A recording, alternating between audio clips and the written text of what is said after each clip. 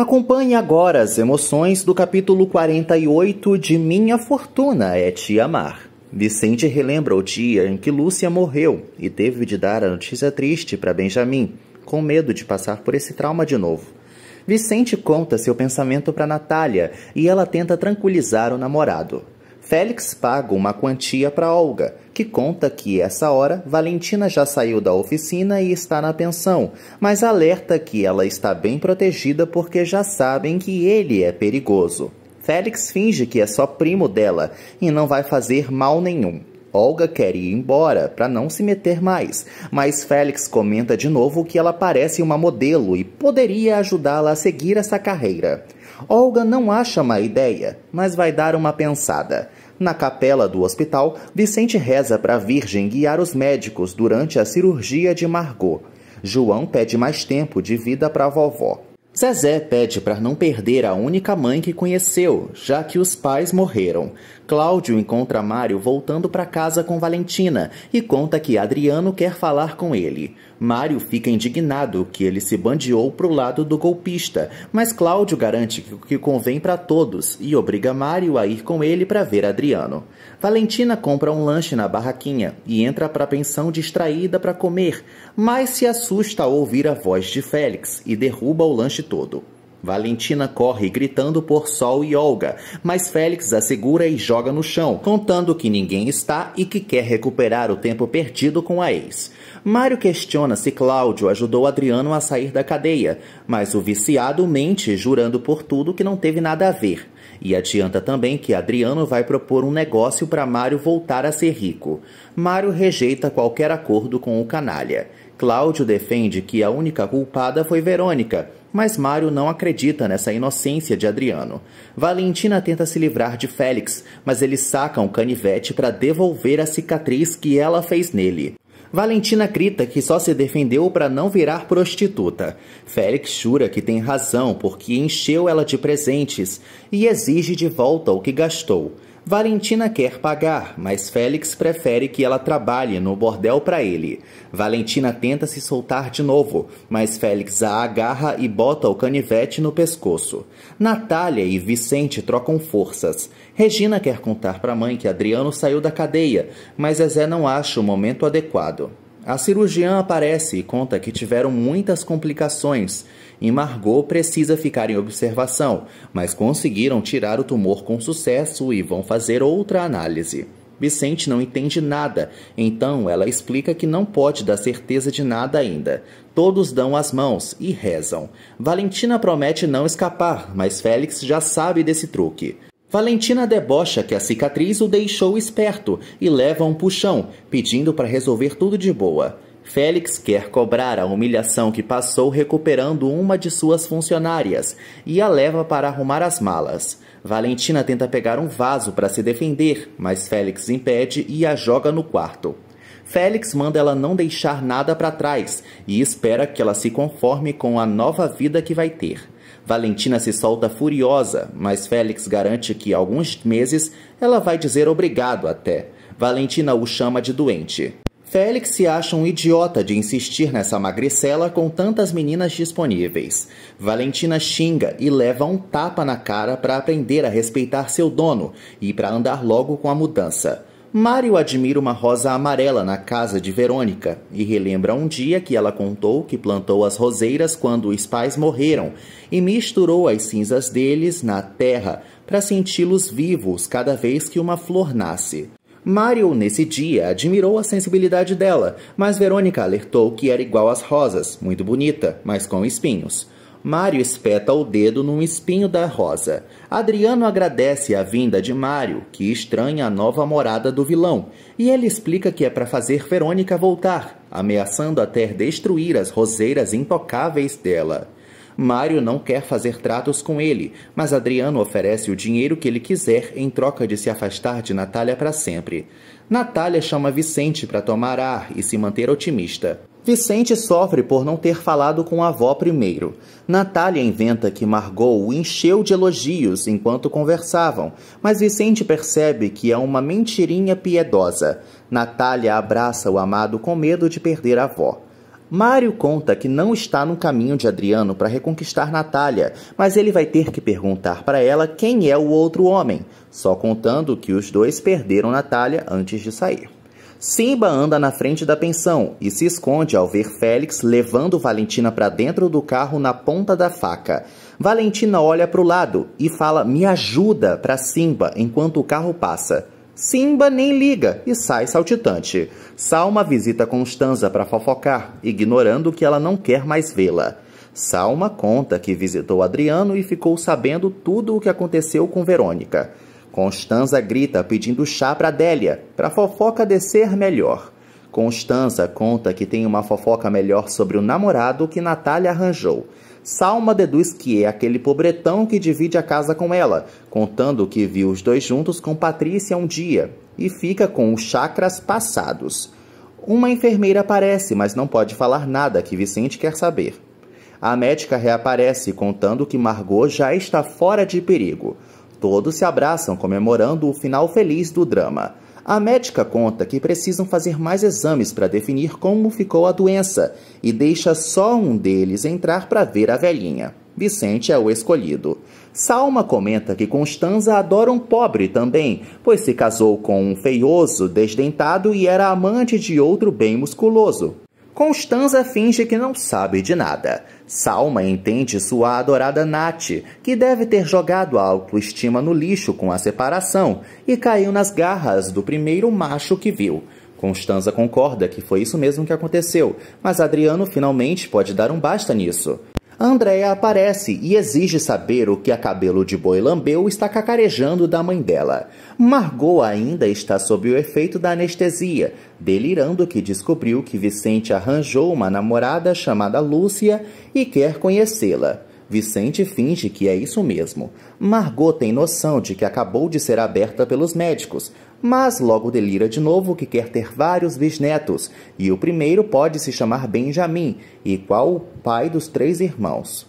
Vicente mima a vovó, que manda ele chamar Eliodoro para entrar. Vicente não sabe quem diabos é Eliodoro, e ela revela que é o namorado dela. Andréia manda Salma sair, mas ela morre de rir da pirralha achando que a casa é dela para expulsar alguém. Constanza segura o riso e pede para elas conversarem outro dia.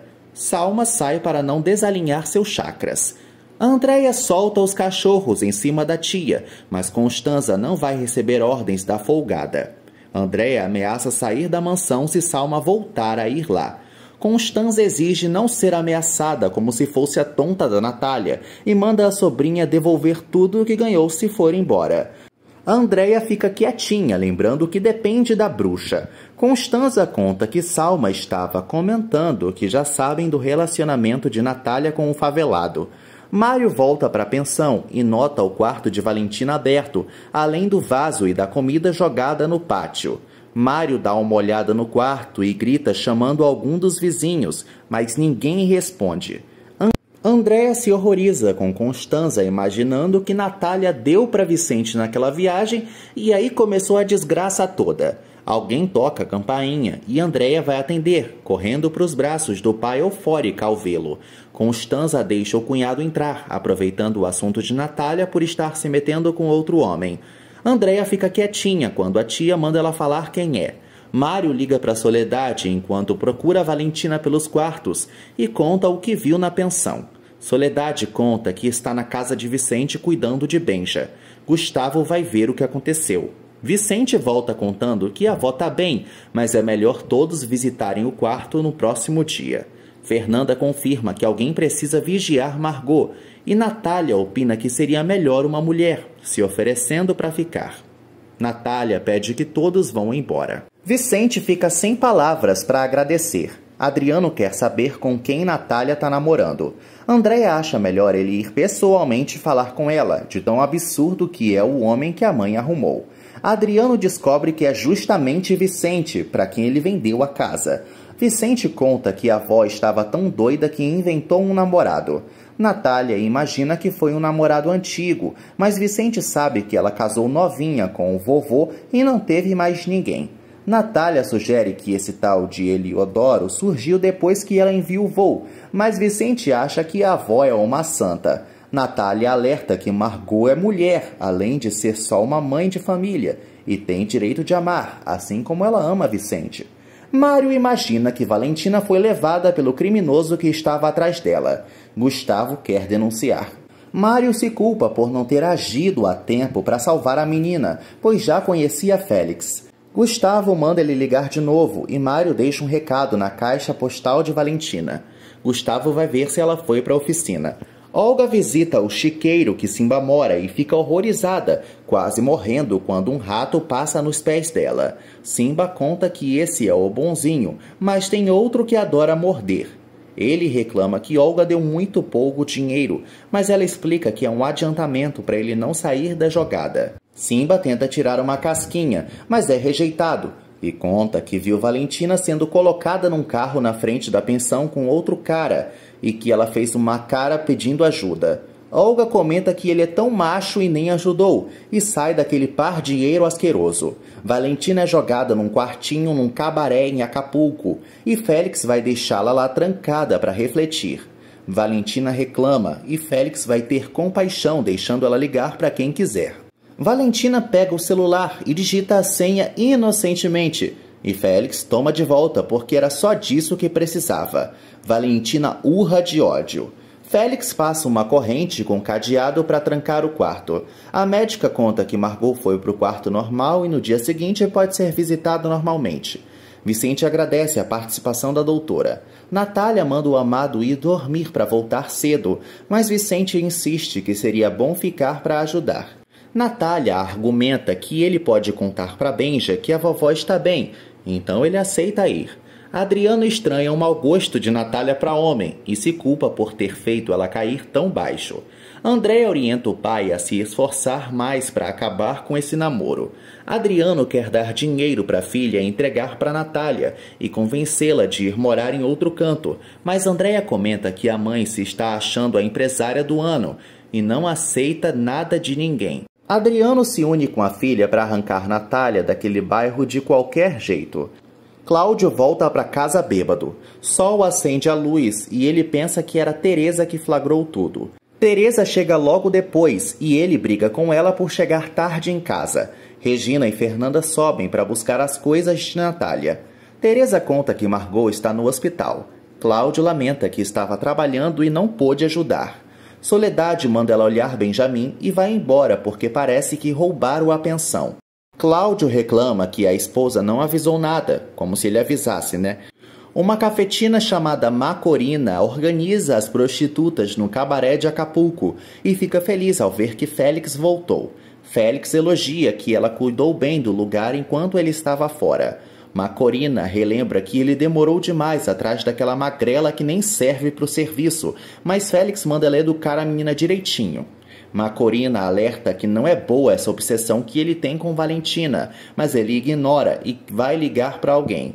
Mário liga para o telefone de Valentina, mas Félix não atende. Sol se angustia com o sumiço. Gustavo volta para a pensão sem achar Valentina e chama Mário para ir na delegacia. Olga aparece e Soledade conta que sequestraram Valentina. Olga acha que ela deve estar com o primo que estava procurando por ela. Mário conta que Félix não é primo nenhum, e sim um bandido. Olga fica quietinha, percebendo a canalice que fez. Vicente volta para casa e nota que Regina está olhando de canto para ele. Vicente sabe que ela está incomodada e pergunta se o namoro da mãe é tão ruim assim. Regina explica que gosta dele, mas não pode lidar com a perda da família perfeita que tinha e custa acreditar no amor verdadeiro agora. Valentina escuta alguém abrindo a porta e pega um tijolo para atacar, mas Félix consegue arruinar o plano e a joga na cama na ponta da faca, exigindo saber quando ela conheceu Mário. Ela conta que foi morar na pensão e Félix imagina que ele quis roubar a mulher dele. Valentina grita que não é de ninguém, mas Félix viu que ela salvou o número de Mário como meu boneco e revela que já bateu nele amando de outra pessoa por se meter com mulher alheia. Valentina jura que Mário vai resgatá-la e Félix vai esperar, só para poder matá-lo com as próprias mãos. Vicente pensa que Regina tem preconceito por ele não ter nível, mas ela esclarece que isso não tem nada a ver e se emociona porque ele cuida muito bem de Benjamin, enquanto ela tem um pai de bosta. Vicente oferece um abraço para Ruivinha.